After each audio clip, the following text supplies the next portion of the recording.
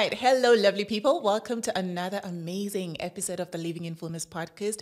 I am excited to sit with one of my favorite South Africa's one of South Africa's favorite comedians. Let me just put that, but my favorite at the moment, Jason Goliath. I'm, I'm so excited to be here, and I wish that you told me that you were going to have your face done, because then I would have at least shaved and looked decent. Because I feel very look, underdressed. Because you look like you look like you're expecting Oprah in this You chair. look amazing. I mean, you, I look like Monday. I, I had like, to dress up for you. You're worth the dress, the dress up. Then I feel I feel like I missed it. Because you know, because you know, when people invite you for a podcast, it's a, yeah. it's a roll of the dice. Are they going to be cameras? Yeah. Or is it going to be like radio where I can sound well groomed, but don't necessarily have to be? So yeah. sorry, I should have shaved for you. I feel bad. No, you look amazing. I'm sure they can agree I with me. I appreciate your lies very much. Thank you. I'm not lying. Trust me. so we're ready. We're excited to have you here. How are you feeling? I feel great. I feel great. It's uh, it's Monday. It's a new week, new opportunities. Yeah. Um, you know, new reasons to get out of bed and get it done. Yay, let's get into it. So I've got two types of icebreakers for you. Yeah, yeah. So three, uh, the first one, I'll give you three words that Don't you even just go, just start. Just give start, us a comedy. Just start. First icebreaker, let's go. First icebreaker. Yeah. Toilet seat. Throw yes. a comedy for us. Uh, the, the, the, the, the toilet seat is a conundrum. The toilet seat is a, is a major conundrum because it's like Thor's hammer. Because some of us can just lift it up easy, easy. And then some people, if you're not anointed with those hammer, you can't lift it up. It becomes yeah. impossible. It also has some sort of magnetic pull mm. because, and it only affects yellow liquids. So if you if you you can't you can't you try to go straight, yeah. but it bends. It like it it, it it there's no way to not splash on the toilet seat. I, I don't know there, science. No, no, no, if I knew science, there would be a scientific term for the electromagnesis of of liquids um, and and we can't help but but but splash on it. So uh, the toilet seat is also there, kind of as a test of your marriage. Mm. And your marriage, your marriage is solid if your wife just puts the seat down and carries on with her, with her life. Listen. But if she calls you in there, it's generally a sign of other things you're not doing. Mm. And this is just the straw that broke the camel's back. this is just so, so look at the toilet seat in, in a different light. Um, and then also as a man, it's your throne. So when replacing your toilets, be like me I sat on every single toilet at Leroy Merlin. My wife was so embarrassed. I said, No, my darling, you don't understand. I spend a lot of time here. I spend a lot of time here. A man must be sure because I've been fooled once with the wrong toilet seat. And you know, if the diameters are not right and the, it's about the back because there's, there's the pipe. And then if yeah. you don't have a straight situation, you're in trouble. Mm, okay, you got into the next word marriage. marriage.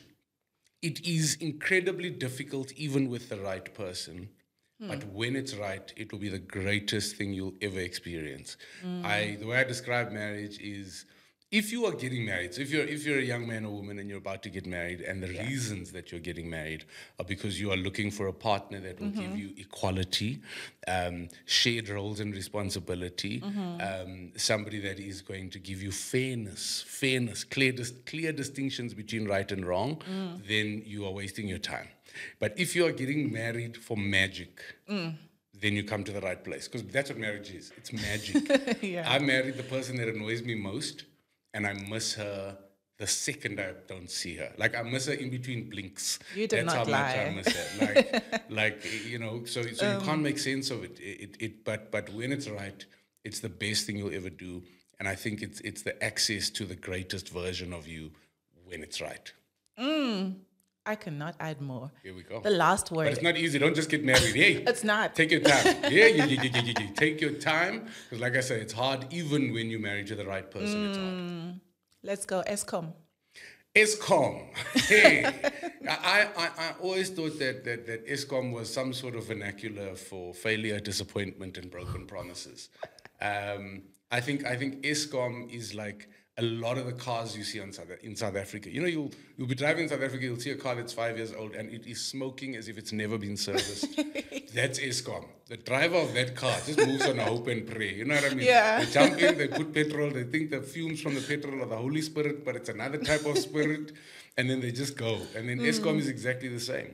It's this, this, this, this vehicle that was never produced, I think, with the thought of how many people it's going to have to serve. Mm-hmm. Uh, and then people don't service it, which means it breaks down every day. My worst part is that you know that moment when the lights come back on or the moment when the lights go off if you're yeah. in a crowd of people people tend to cheer nowadays mm. and it makes me angry i'm just like we should not be celebrating We need to be more angry. More angry. We need to be more angry. Yeah, that's true. Oh, well done. Thank you. I love that. I mean, this is this is your flow. Yeah, I it's mean, so easy for and you. I'm, I'm you. We're just getting warmed up. We're just getting warmed up. Yes. If your life was a movie, what title would it be? If my if my life was a movie, I don't have a Mm-hmm. title, but I always say to people that that's the way I think about my life. Uh, so I'm always like, you know, I think what COVID taught us is that we don't have time. Uh, Mm. and I think a lot of people are, are living their lives and saying like vicarious things like, I'm going to be happy when, I'm going to do this when. Mm. And I think COVID taught me specifically that we don't have a when. So Mm. if you're not on it right now, uh, then, then, then what are you doing? What is the question again? Because I got too excited. Tell me your title. Um, Oh, the title of the movie. So, so then I'm like, if, if, if imagine you die, you get to, to heaven, and before you go in, Brapita says, before you can access, you must watch your movie. Mm. Then I'm always like, if I press I, and there's drama between brackets. You know, sometimes you press I to just to see what the vibe. What- yeah, what it's like. And there's drama between brackets. I change the channel immediately. My life, my life movie must fall into the, the, the action romance. I think that's I don't know if it's a new category, but action romance. Like it must be skop skiet en donder. That's what I Mm. Okay. always say. It must be heavy action, sex scenes, galore, galore, galore. I Mm. always say like in the whole movie, my wife has side boob, I have side boob. You know what I mean? You know what I mean? It must Yeah. be filled with emotion, filled with mm. passion, filled with experiences, and filled with things that actually matter. Because mm. somehow I think we've become obsessed as a as a society with things that don't actually matter. Sure, that's so true. And I, and I think people always go, okay, but then what actually matters? Then I go, no, Mm. that depends on you. Because what actually matters to me matters to me. Yeah. And I think that's the problem is people have a view now of other people's lives through Mm. platforms like social media.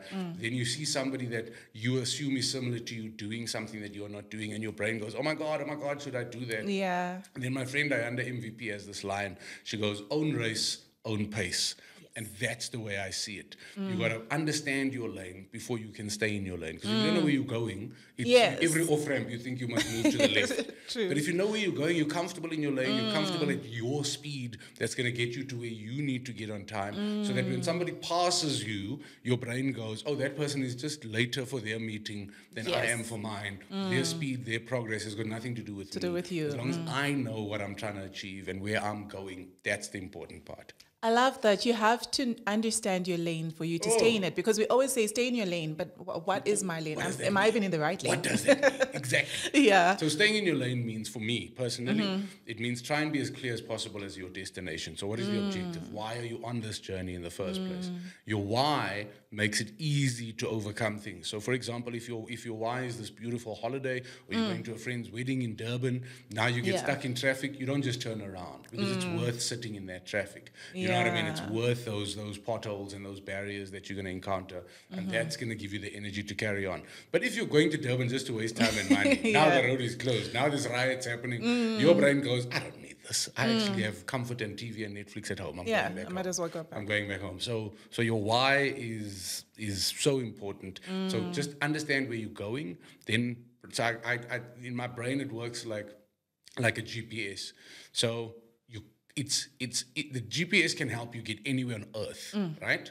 But it needs two things. Mm-hmm. It needs a destination, but it also needs a start point. And I think a lot of people are in denial about where they are right now. Yes. So my word is you first have to accept. Mm. Doesn't matter whether you're in a good place or a bad place. You are where you are, and it is what it is. So once you accept I'm here, now you can use the GPS to go. Okay, I'm here. I want to Where get you there. want to get. Then the GPS Yeah. Mm. will work out a number of routes for you. You can check the route you want to take. You select your route. The best part is once you selected your route and pressed go on your journey, that first step is the most important of any Mm. journey. But you'll notice the GPS no longer shows you the destination. Mm. It just shows you the next step. So it just instead of showing you Durban, it just says in 200 meters, turn, Turn, right. yeah. Mm. Then you only need to be obsessed with, and I'm going to use that word a lot, obsessed with getting to that 200 meter mark and turning right. You check the next instruction, you continue. So you first understand where you are, you then understand where you're going, and then you plot your route, how long you think it's Mm. going to take, what type of effort you're going to need to put in, and then you start with step one, become obsessed with step one. When you've achieved step one, you become obsessed with step two. And before you know it, that. before you know it, you are doing podcasts with famous people. It happens. It happens. Yes. I love it. And I'm seated with Jason Goliath. okay, so if you I were mean, I to me with you. I mean, me with you, just so you understand. Humble. no, no, no. Humble, guys. Very humble. have to be. so tell me, if you were to switch roles with another comedian just for a day, who will it be and why? Obviously, Trevor Noah. Why? So that I can experience what it's like to have Uber Jet. You see, you and me, we every now and then spoil ourselves with Uber Black. Yes. I'm telling you, I don't know this for a fact, but I'm telling you, Trevor has an app on his phone. So you want Uber where- Jet? 100%. he opens his app, it goes, Where are you now, Trevor? Randpark Ridge. Where do you want to go? Los Angeles. Oh, wow. Then Okay. I'm, I guarantee you, there's a limo that comes to fetch him from here and takes him to the closest helipad. The helicopter takes him to the, a jet that's already waiting on the runway That for is him. the That's a I just want to experience that money just for one day. Just for one day. The type of money that means you can think about everything. Because there's some things Yeah. that when you ask me, Jason, do you want to do that? My budget answers for me. Yes, you don't I'd even- love to, but my budget is like, do you see what the rent is? 18 rand, we are staying. I have no Then, I option. mean, Trevor doesn't care about that. the exchange rate of South Africa. Come on. Okay, so we're going to end the um, icebreakers with your morning routine. Tell us what your morning routine is like. Uh, my morning routine is Mm-hmm. is uh, you know I'm an, I'm an, I'm a night owl, so I, I generally try to sleep in whenever I can. I'm not one of those 5 a.m. club uh, people. I'm more um, make make whatever time you're waking up your 5 a.m. Mm. So my life doesn't work like a normal nine to five. I get that 5 a.m. club, you know, get a, Mm. get ahead of it. But very often I'm only going on stage at half past 10. Mm. Um, and and if I woke up at five o'clock that day, I simply wouldn't have enough energy to Yeah, be on stage at half past 10. So so my life works um, based on my schedule and, and based on, on, on how product productive I need to be. So my mornings actually begin the night before. And the, the night before is is a I check my day, I understand how much energy I need uh, for that for that day. I remind myself that I'm capable of every single input in that diary. and I'm capable of all the things I'm going to do tomorrow. Um, I make a small note of what I'm what I'm grateful for uh, in my life, and these are small, mediocre things. I'm grateful that I have an amazing wife who loves and supports me, and we have a relationship that works. I'm grateful that I get to work with my best friends and my family, and I'm most grateful for the fact that I think I'm luckier than a lottery winner in the sense that I get paid to do my favorite thing. So if you think about whatever your favorite thing is, that's how lucky I am. Yeah. When I do my favorite thing, whatever your favorite thing is, when I do my mm. favorite thing, people say thank you and give me money. And that, quite frankly, makes me luckier That's than somebody who's won the lottery in the country. I think there's mm. more people who have won the lottery than there are people who, who, who have not. In the mm. morning, the habit is simple. So my wife generally wakes me up with a cup of coffee, which is my, my, my favorite way. Mm-hmm. Um, and while enjoying a cup of coffee, that's my time to first be grateful. So when I wake up, I first am grateful for the things I've done and achieved and have already. Once I celebrate that gratitude and give thanks, then I switch on the ambition to go and uh-huh. chase down the things I don't have yet. I have conversations with myself in the morning, and, and over, you know, I, I read a meme over COVID that became a, a, a kind of daily mantra or part of my mm-hmm. daily mantra, which simply said, change the way you speak to yourself by changing small words. And the example it gave is the example I use every day is simply change the word have to to get to. Mm. So in the morning, when I wake up on a Monday morning, it's easy to go, oh, I have to go do a podcast. But if I go, I get to go and do a podcast, there's a mm. different energy That's with which different. you approach that. Mm. And I've realized how sensitive I am, particularly to the energy with which I approach stuff. Uh, and the result of that stuff is generally governed by the energy with which I came in. So by changing the word I get to, it helps me exist in that space of gratitude. And for me, acceptance and gratitude are like the founding fathers of happiness. Mm. Like if I can if I can force myself to exist in that space, and and Nicholas Goliath has a great saying. He's always saying, uh, "Don't be the cloud, be the silver lining." Oh, and that's exactly so. So it doesn't mm. matter how big the storm. I'm kind of just looking for what the silver lining is. I mm. hang on to that, and then we go through. I love that. And I, I really agree with you because I'm, I'm a big fan of using the right words to motivate myself. There's so much power in the tongue. And sometimes we we set the tone of the day in everything we want to do just by the little words that we speak and they get stuck into our head. So I really love that. What makes me happy about what you just said is mm. it's indicative of the fact that you are responsible. Mm. Nobody else is responsible No. to make your day nice. It's you. You are responsible. The way you the way you appreciate, operate, uh, and achieve today is up to you. And when you start by taking that type of responsibility, um, then you understand the importance of the way you speak to yourself. Because for me, the way I speak to myself even changes the way I hear other people speaking to True. me. So if I mm. get to somewhere and I'm in a bad mood, somebody says something maybe with no emotion, mm. it leads me to maybe oh, they, oh, Yes. they're being aggressive. but if I get there in a happy place, I'm like, oh no, they're just You, being yeah, happy. it- you know what I mean? Yeah, I totally agree with you. So tell us, how did you get into comedy? I'm sure you get asked this a lot, but how did you get into it? What was the motivation? How did you take that first step?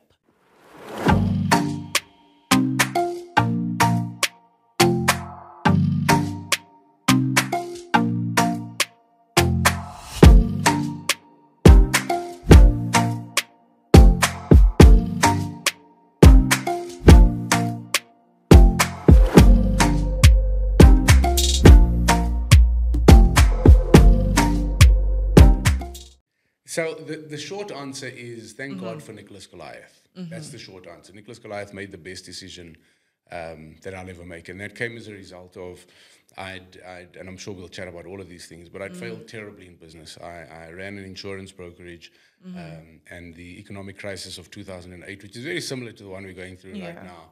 Uh, destroyed my business. That combined with bad decisions, uh, taking on the wrong type of business partners with within the within the business, led to a magnificent crumble, and I lost everything. Like I still deal with lawyers and paying back debt today.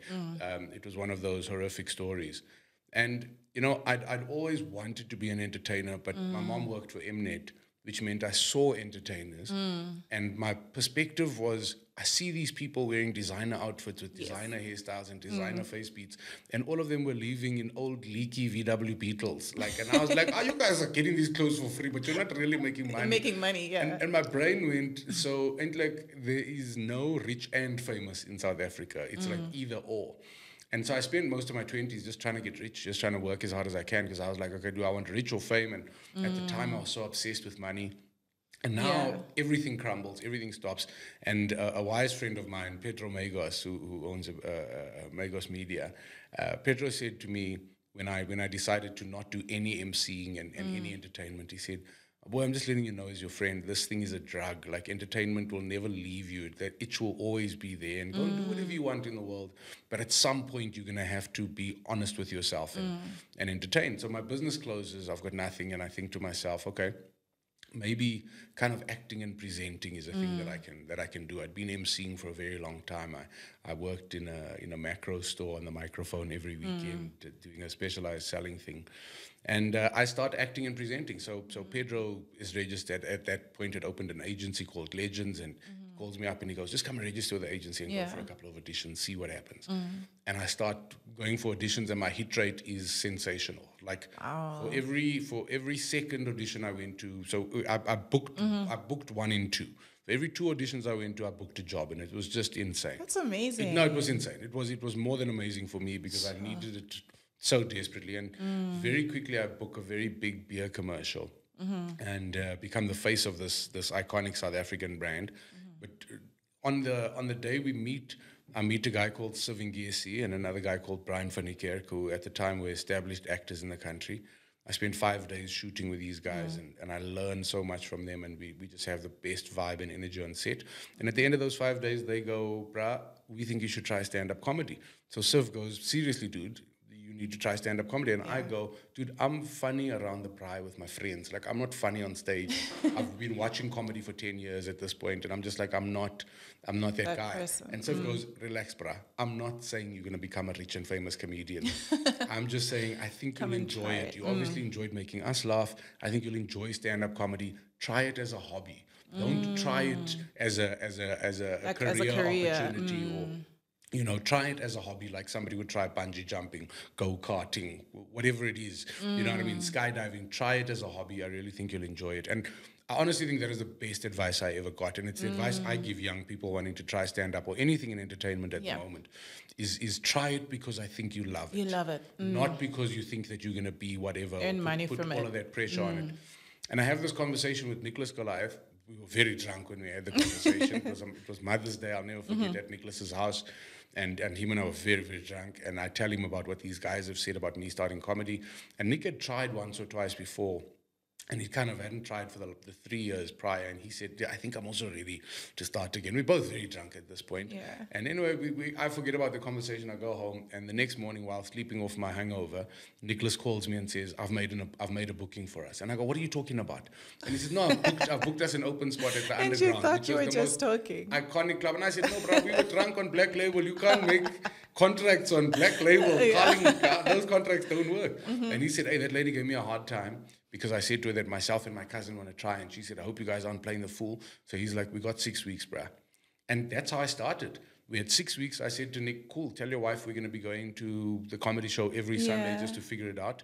And six weeks later, 3rd of July 2011, we jumped on stage. You even remember the uh, days? It's the best day of my life. My life, uh, it was one of those days where I felt my universe seat. Like mm. I can't, you know, like when, you, when you're turning the petrol cap and it's not on, not on, click. Yeah. That's what happened in my life. My life clicked into the seated position. Um, and I remember loving my first performance so much that my brain just went, I have to work as hard as I can, doing everything else so that I can do this hobby as much as possible. Mm. So imagine somebody who, who who does mountain biking for the first time and realizes that they it's their perfect escape. Yeah. Their brain goes, I've got to work as hard as possible mm. to buy the best bikes, to be able to afford to go to the different tracks. Mm. My brain did that with comedy. It was like, I've got to work as hard, hard as possible so mm. I can afford the time it takes to do to this, do to this. do this thing because this is the best thing I've ever done. Comedy was the was and still is the best thing I've ever done, and That's the rest is history, I suppose. And it, it, comes to you so naturally, like you're so good at it. Uh, I mean, it, it's like when you're on stage, I'm like, did he actually script it? Did he think about it? You know, because I actually wonder, do you script your um your stand-ups? So you know, I, I, I don't is the okay. is the truth. So there are many different styles. Mm. Uh, Nicholas and Donovan, for example, write out their jokes, and I okay. think classic comedians often write out the jokes, and then you kind of figure out where the laughs are and adjust the lines accordingly. So if there's no laughs, you need that line, you'll take mm. it out. Mm. Where, with me, uh, my last two one-man shows, I don't have a single note. I don't have a set list. I don't have anything written down. But it all kind of happens in my head. So what I do have mm-hmm. is if if something makes me laugh and I think mm-hmm. something is funny, I'll write that down. Okay. But what the experience has helped me do is I now think about what do I want to say? Because I think mm. that was the mm. big thing that happened to me during COVID when the audiences went away. I felt extraordinarily guilty that I had mm. audiences, and did I even say anything? Oh, did I, I tell them anything, or did I just make them laugh in that mm. moment? Or so I'm always like, if people are listening, say something. Mm. And now my jokes have become more about what do I want to say? And then I use comedy to lower the barriers to hearing. Mm. And comedy kind of puts people in a very comfortable position. And instead of me being lecturing you, you think you're being entertained. And I use comedy just as this this medium to to talk to people, motivate people, help people find mm. their happiness and even if it's only one person out of the 100 people in the audience, the other 99 had a good laugh. It was worth it. Um, mm. And the one person perhaps connected to something. And this has become apparent because I stopped looking for well done and congratulations. But the, the thing that really gets my blood pumping is thank you. Because now when I've been coming off stage, people have been going, thank you. Mm. And it's the, I yes. can't explain it's like the feeling. You feel. It, oh, I, can't, I, can't, I can't explain the feeling. Yeah, but then, you know, I got to learn that even comedy itself has genres, right? Because yeah. I used to think I don't like comedy because yes. of the few people that 100%. I had listened to.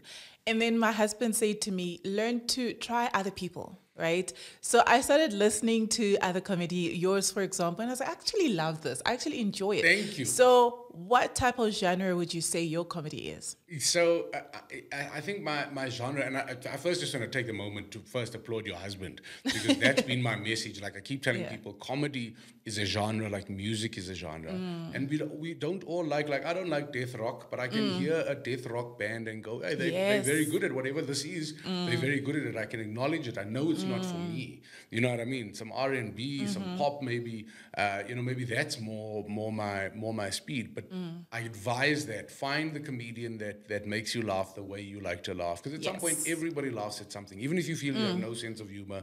There's one topic. There's, there's one something. angle. There's something. So find the comedian. For me, I think it's it's definitely at the moment on purpose motivational comedy. Um, uh, but it's it's it's motivational comedy that's unapologetic because it is uh, how do I? It's about personal perspective.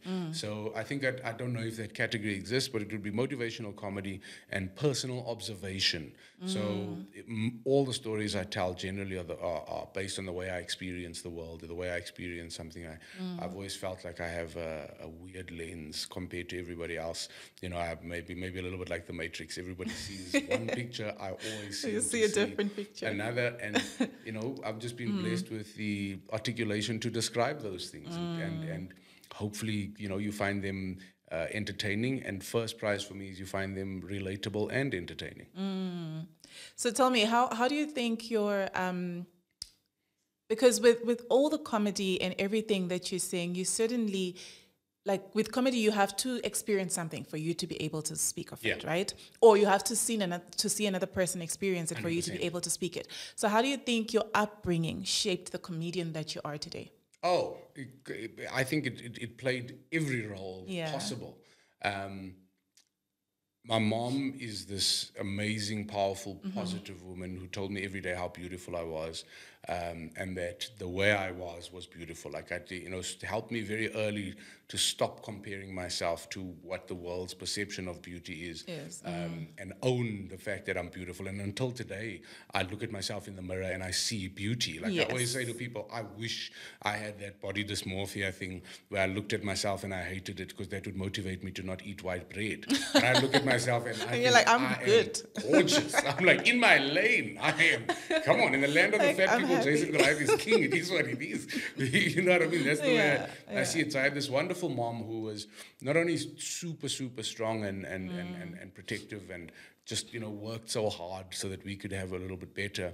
But she mm. also indoctrinated us with basic thoughts of things like choice and consequence. And and, and, I, and I mm. speak about this on stage where you know my mom would always say to me, All I want for you to understand is that the world works on these simple principles. Choice and consequence is one of them. And I mm. want you to be smart enough to simply think about the consequences you want to enjoy and have mm. that inform the choices that you're making. Mm. Instead of just, you know, shoot and hope, is is try and be a little bit more strategic because if you understand that domino effect, then you can you can sort of control the direction your Yes. life goes, how your life ends up. And choice and consequence has been a big thing. On the comedy side, uh, my dad, an alcoholic, bless him, but a very funny man. And my dad comes from a very funny family. So my dad and his brothers are known for roasting. When they get together, they immediately just become a team, and they don't care. And they would roast us, you know, from from Oh, kids. Like my mom tells me the story of my dad. One of his greatest joys of me as a as a kind of sitting on his lap baby was the fact that I was a greedy kid. So he would he would feed me uh, the dried peaches. Um, but then the dried apricots look like the dried peaches, but they're sour. So he'd feed me three peaches, and as soon as I get excited, he'd slip an apricot in Oh, there just to laugh at my face. You know what I mean? Yeah, Just make a funny just that. So, so to give you an idea, like that's Yeah. that's the, the the situation I grew up in, which a makes your skin very thick very quickly. Mm. So being teased and roasted, and we call it guara for a guara, Mm. being teased and roasted immediately makes your skin very thick. But it also allowed me at a very early age to realize that it's just words, um, Mm. and and and what they are doing is not a personal attack on me, but more a hunt for jokes and punchlines to make to make people laugh. So Mm. you stop taking things seriously, and you stop allowing people's words to To hurt you. affect you.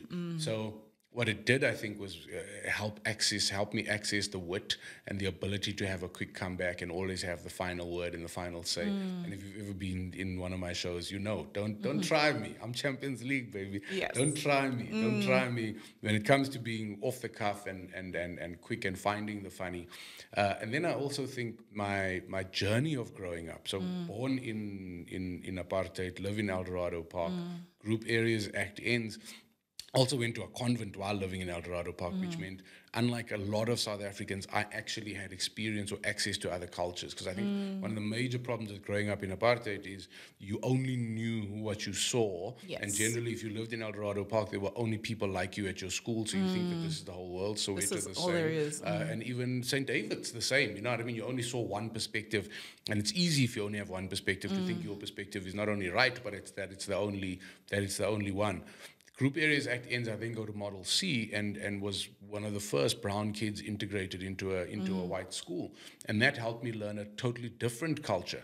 So from a comedy point of view, comedy is all about relatability. Mm. And what this upbringing gave me weirdly was mm. this access to understanding and respecting everybody's culture. Ah, um, so it allows me to empathize. It also allows me to not think my way is the right way and the only way. So now my barometers are are you happy the way you live your life?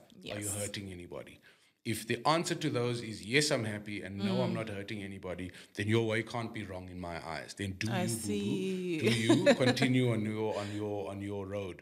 Um, so so many attributes of my childhood, I think, I think led to the ability to not only appreciate humor, its importance as a facilitator of narrative, as a facilitator of stories, and its its ability to help break down things. I get to say things on stage that otherwise I think would would, would evoke uh, uh, uh, anger in people. And I'm always trying to say that we can't have resolution while there's anger. If we're speaking with all of the emotions on the table, chances are we're not going to get to resolution. But if we're speaking based on the facts, based on what's going on, and I think with with with humor, I'm often able to disarm people to be able to facilitate conversation. So. 90% of my income comes from corporate facilitation, and that's what I do. I facilitate uh, conferences, I facilitate conversations on stage, I facilitate panel discussions, and I talk on different topics. So, whether it be uh, uh, organizational culture, change management, diversity and inclusivity, and I use humor to be able to discuss all of those topics, which, which makes the conversation easier. It's like gravy. You know what I mean? Sometimes that meat is dry, doesn't want to go Yeah. down, you know? Put a bit of gravy, helps it go down. It's an amazing skill that you have because you know with comedy it can be very offensive if it's Yes. not done well absolutely. at the same time. And I love how you get to a point where it's also informative because it's not just it. about laughing, but it's also learning something out of it. Yes. I've learned um, a lot from just watching some of your comedy. I'm like, oh, I actually learned something. Thank you you. know, and so that's what makes it a skill for me. What makes a good comedian to you? So, man, what makes a good comedian to me is is I think Lo- Loiso Gola described this best when he was asked, "Are you threatened by the onset of digital comedians, TikTok comedians, for example?" And he said, "No, I'm not, because we're different animals." And when the when the interviewer asked him, "What does that mean?" he said, uh, "A TikTok or a digital comedian can walk into a room of their followers."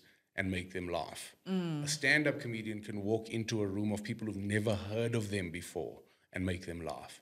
and that for me is the first sign of a good comedian is that you don't need people who know you, know your narrative, uh, have heard your stories before uh, in the room to be able to appreciate your comedy. Good comedy is just good comedy. Yes. Um, so I look at I look at guys like I mean I think my all time goat, my favorite comedian is the late Bernie Mac, who I just feel like was one of my spirit animals.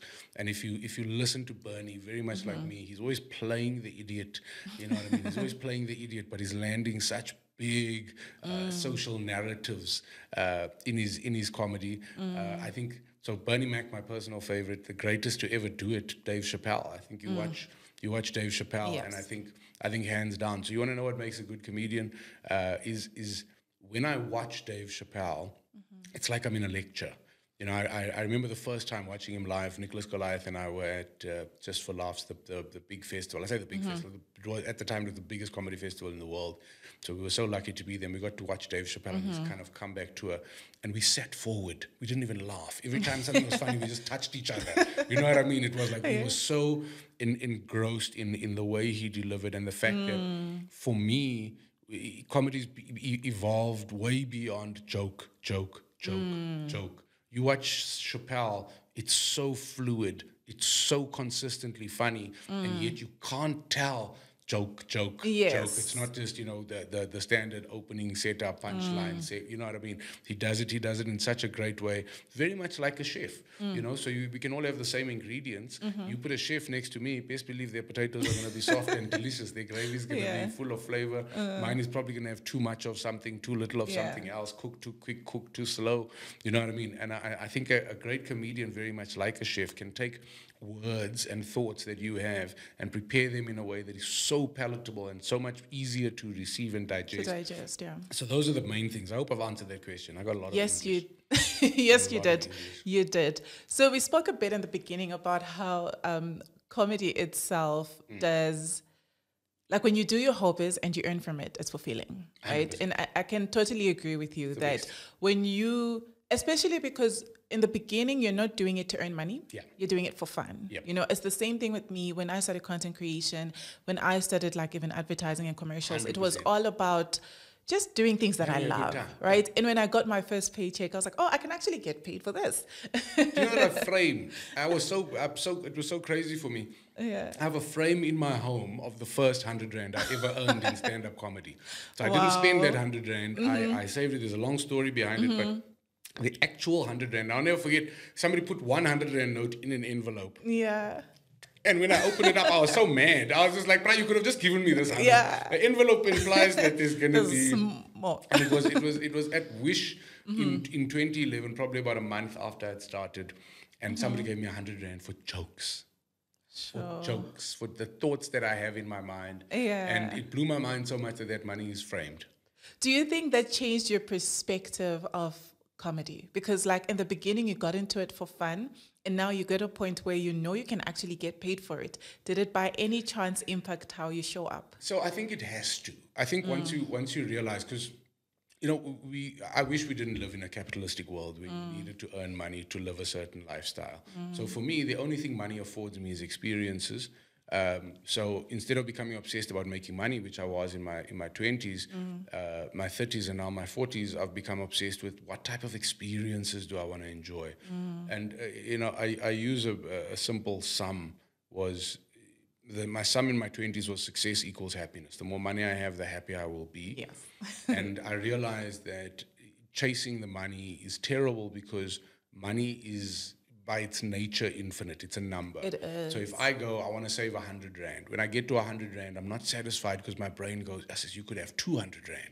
And there's this thing of just wanting more and more and more. Whereas if I said, I want to save enough to buy this glass. Mm. When I have the money, I buy the glass.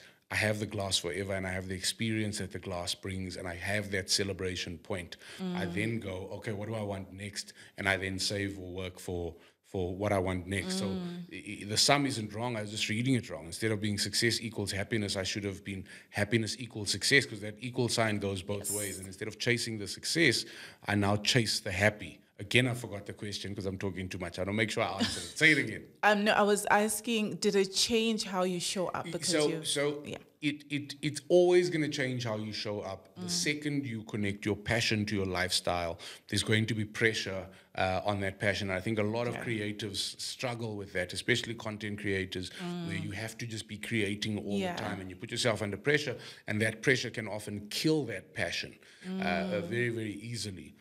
So I've been very fortunate in the sense that again, it's been about being able to look as far down the road as possible, being able to learn from the mistakes of others. My mm. attitude is if you've fallen in a pothole and you've told me about it, I'm an idiot for falling in that pothole. So the smart thing is to rather ask you where the potholes are.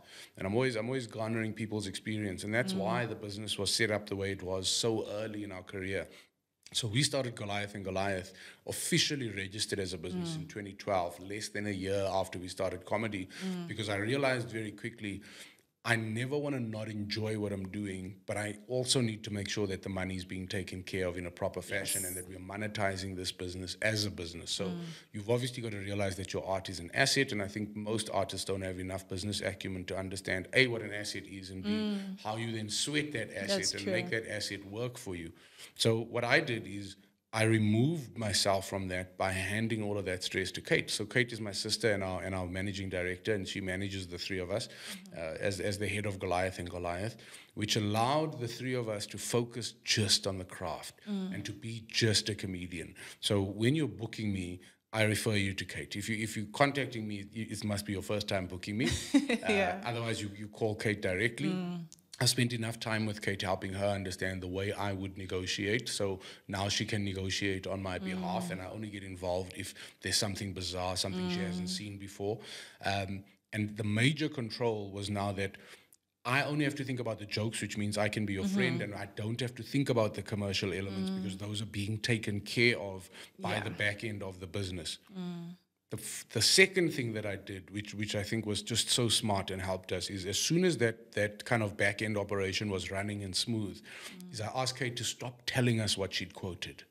So the money has this weird thing in our mind and it will manage your tolerances. So if a client, for example, negotiated the heck out of you, got you at, at a for free rate, and it's normally that client that goes says things like, "While you're here, let me give you extra work," Yeah, and then well. loads you on. Your tolerance to deliver then changes because you go, "This is not worth my while, not worth my time." Mm. But in order to be great, particularly in the competitive sector that we play in, I realized consistency was going to be key. So, how do we as a group consistently deliver, deliver at 120%? Mm. How do we deliver at 120%? Is I don't know what I'm earning. Until I see the list at the end of the month, I rock up at every gig as if this is the biggest paycheck I'm going to get for the month. You are my most important customer.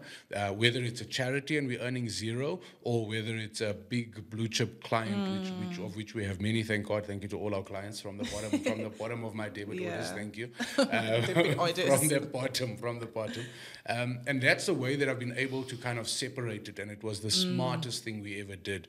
So now when you see me, A, know that I'm, I don't know what I'm earning, and B, I'm there because I'm obsessed with being great on stage, and that's it. That's the only thing. That's the only thing that matters. And therefore, we get consistency throughout um, because we haven't allowed capitalism to put that pressure that everybody else experiences on us. Not easy, costs It's a lot of money. Kate lives in a nicer house than I do. Um, but Yeah. worth it, worth it, worth it, worth it. It really is worth it, and I totally agree with you. I love your um, how you've set up your Mm. business because um, I always say, coming from a chartered accountancy perspective, I always say every business, regardless of whether it's your normal corporate business 100%. or it's your media entertainment type of business, it needs the right processes in place because if, as the owner and the comedian at the same Yeah. time, you know what you're earning. You sort of also you can miss certain opportunities that might not cost much today to the other person, but might be worth it in the long term. So my attitude then becomes every single time I'm on stage or I have a microphone in front of me, that's my business card. So mm. I'm in the business of making stuff for people. So it's either a live audience, um, mm. and David Kau once pulled me aside and gave me great advice. And and mm-hmm. you know, so it's easy with with comedians to go, mm. Don't worry about the small audiences, use them to to to work your new stuff. Yeah. Um, and then David Kau pulled me aside and he said, I never want to see that again. I said, What do you mean? He said, From now on, you work your new stuff in the middle. I said, What does that mean? He said, You got to start great, end great. Yes. Because you, even if there's five people in the room, you don't know wh- wh- who those five Who- people are and what opportunities they may hold for you. Mm. So it's never okay to die on stage, is what David said to mm. me. So if you want to try something, you try it in the middle of your set so that by the end of your set, the audience would have forgotten about how you may have been average in a spot. So you mm. do your great stuff up front, you try new stuff in the middle, you close with stuff that is your best, that you make you making sure making sure. So it's about that that consistency and pride and finding a peaceful middle ground between the artist's pride Yes. um, and the actual objective.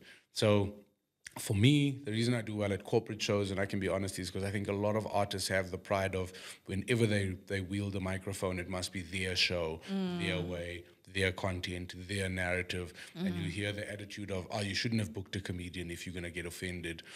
With me, when, when I come off any of my corporate clients, or when I mm. go on, it's not the Jason Goliath show. Mm. It's your show. Jason Goliath is a facilitator of your show, and mm. he'll use his experience as a comedian to enhance the brand mm. rather than work against the brand to drive his own narrative. If you want to see Jason Goliath, you buy a ticket for a show that says Jason Goliath. Yeah. Then you get the raw version of me, and I can unleash the full artist that is me, the way I want to articulate it, and the way I'd like my art to be appreciated. But in corporate and public spaces, first we're there to entertain. Mm. We are not there to offend. We are mm. smart enough to know where those parameters lie, Yeah. and then just just stick to the rules, and you'll be rewarded. I love that. Words of wisdom out here. We are trying. we are trying. so tell me if you if you were to if you were because you've mentioned your wife a bit Yeah. you know during this Yes. podcast so what do you think has been her role in the jason goliath we see today That's a that's a great question. So you know, my wife my wife plays so many roles, and uh, it's hard to play the role of a comedian's wife. And she often jokes about the fact that she's going to write a set about what what what really needs to happen. But I'll give you an example. I was on a conference last week for, for one of my biggest clients, and and my wife understands how important it is for me. Um, she also then understands that because I'm an artist, I'm very sensitive, and my mood off stage, even with experience, often affects my performance. So my wife was going through a bad week, and what does she do? Keep quiet. Saves it for when I get home.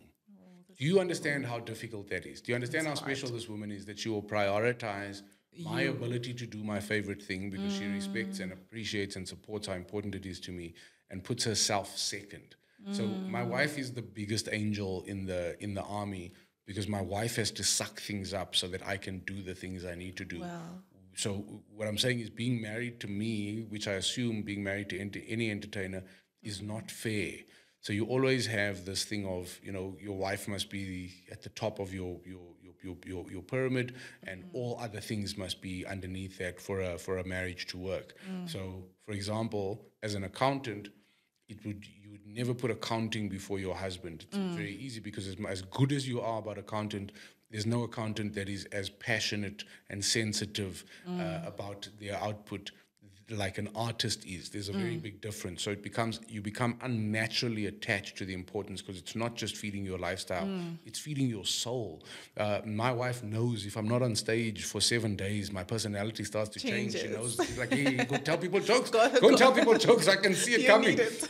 I can, I can, I can see it coming. Mm. So it is, it is incredibly difficult. So other than the the the, the major role she plays as a as a as a publicist and her experience in that in that space, the number one role is is uh, her putting in great effort to make sure that I have everything I need to do what I want to do at the level I believe I'm capable of doing it at.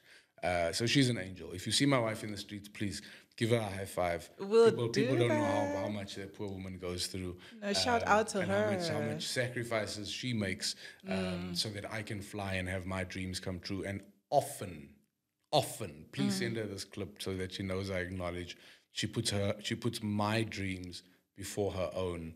And the reason I know how difficult that is is because I wouldn't be able to do it. Mm. I wouldn't. Uh, that's the truth.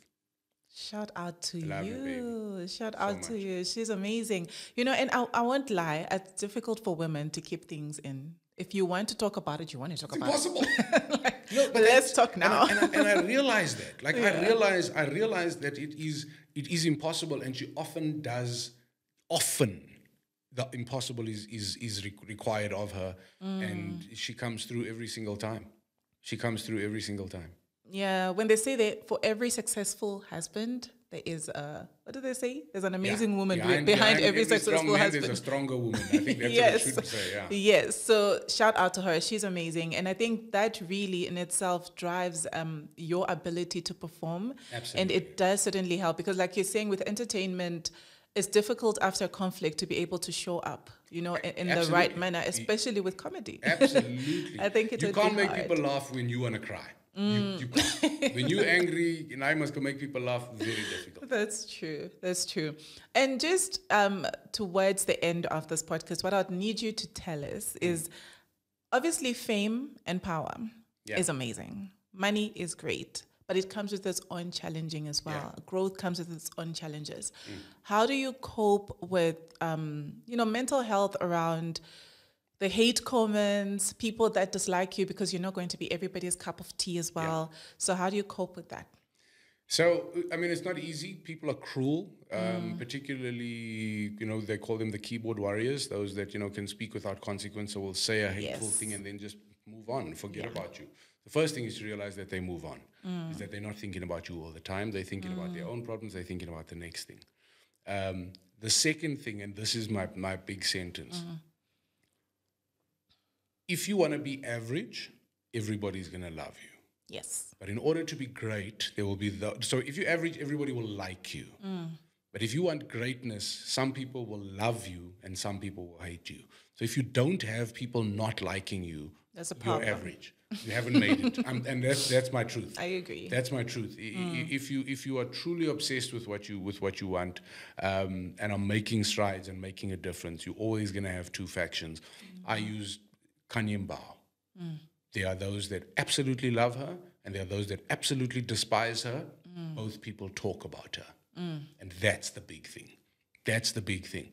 If they are talking about you, you're winning. What they're saying doesn't matter. So don't give that power.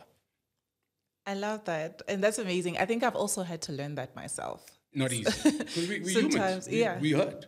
And I think we, we associate being liked with growth sometimes because you're looking at it and you're saying, for me, and I think social media has a way of doing Yeah. that. The more likes you have, the more comments you have. 100%, 100%. the more famous you are, the more powerful you become. So I think now the digital side of life is teaching us that the more you have people following you and liking you, the more you're doing well. But it's also good to remember that even at that, um, it's okay to have people that will not like you because you're not for everyone as well. But th- then you must make sure that your, your support structure really like you. So again, my wife comes up. Whenever I want to reply nasty, my wife steps in. Like, like I was about somebody wrote some terrible stuff about me, and then blind. Uh, so they didn't. They, they wrote my full name, but didn't tag me, and I got it from a number of people. Hey, somebody's, and it was somebody big in the industry. Yeah. And I typed this very aggressive, very uh, uh, sarcastic reply. And my wife used the phrase, she said, please do not get involved. I said, what do you mean? She said, you're just going to amplify that situation. And that's exactly what this person wants. I said, yeah, but I can't just let these words be out Yeah. there. She said, the problem with fighting with a pig is you get dirty and the pig enjoys it. Yes, Those and were- now you're were- the, you're together. Hundred percent. Those those were her words. Yeah. So not only does she calm me down in those instances, but I mean, I posted a video last week of, of somebody said, "Ah, this toilet humor is disgusting. I can't believe people laugh at it." And I was going to be very, very snooty in my reply, and then my wife said, "Please don't be snooty. Be funny. it's okay. be funny. Don't be Yeah. arrogant. Be funny." So reply by all means, but be funny. So instead of instead of being aggressive or Mm. under or, or, or undermining or, or you know, I, I made a joke. I said, "Hey, listen." You know, you, uh, toilet humor is definitely not for everybody, but Yeah. I definitely I bought my first house telling toilet humor jokes, telling- and it's the one thing that we all do. And I did a whole bit, uh, which I preferred. So it's also you know be surrounded by people who who who help you constantly be the best version, Version of you. of yourself because you can easily be, you know, Oh, mixed man, up in all get- the drama. Oh, you can get caught into things that don't matter so easy. Yeah. So should we be expecting any upcoming events, anything you want to let us know about that we should show up at? So I've got a, I've got a number of things coming up. So please follow my follow my social media. I've got a couple of uh, uh, uh, big TV shows and internet shows. Um, I've also got a big one man show coming up. I'm just waiting for for final dates, and that'll be. I, I think I owe I owe Johannesburg a big one. So I'm I'm thinking of uh, ly- lyric theatre. Um, and then I've also been promising to tour, um, you know, in between all of the millions of other things that I do. But until I come to you, you know, if you have a device and you see a little logo, logo that says Red Bull TV, it's a free thing. You don't need to register. It's not like Netflix or Showmax where you need a subscription and all of your information. Just click on that Red Bull TV icon and search giving it gears with Jason Goliath. So I've got I've got a full series season uh, season one. The final episode will come out towards the, the end of the year of uh, a great show that I do on Red Bull TV called Giving It Gears with Jason Goliath. It's also a free show to watch, so please go and watch that. Uh, catch the repeats of Celebrity Game Night um, because even if you watched it, it's still it's still so great, Yeah. so great to watch. Um, and then I'm I'm I'm I'm coming. I'm working. I'm working. I promise you, I'm working. I'm busy, and I'm bringing you laughs as much as I can. Um, I'm also trying to you know, just invest in the, the social media audience. So thank you if you've been following me up until now. And what you can expect is jokes now. Okay, okay. I'm I'm I'm, I'm done playing playing games. I'm coming with funny things now on social media as well. And we cannot wait. Do you know what's amazing is I got to Oh, oh, oh, also artistry. so we just signed a deal with Jay. Somethings with J'Something Yes, Space. J'Something mm. built this amazing space. Him and his business partners called mm. Artistry to celebrate artists. It's in Sandton, Fredman Drive. It's got an amazing rooftop restaurant. It's got an unbelievable listening bar, but it's also got a little theater that we do comedy in every Sunday night. So if mm-hmm. you're looking for stand up, uh, every Sunday, six o'clock, 150 bucks, the best comics in the in the in the in the country on stage, and I think that is going to be the comedy room of the future. So go to Artistry in Joburg every Sunday, uh, uh, six o'clock, 150 Yes. bucks. And the vibe is amazing. I've been there as well. yeah. But thank you so much for coming. Thank you It's for been amazing having you here. The pleasure has been mine. I feel like I spoke too much. Let me dr- drink water just so I. No, you you were amazing. I'm sure people cannot wait to watch this. I'm I'm actually tempted to make it my first for season two. I, listen, I, I let me be the poster boy for season two. I appreciate that. no, thank, Thank you you so for much. having me and well done.